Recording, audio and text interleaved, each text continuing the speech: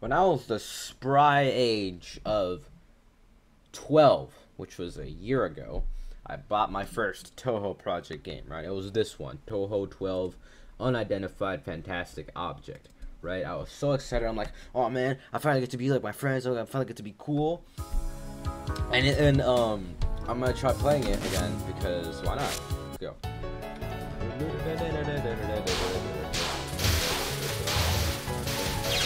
Fuck. Never mind. Fuck.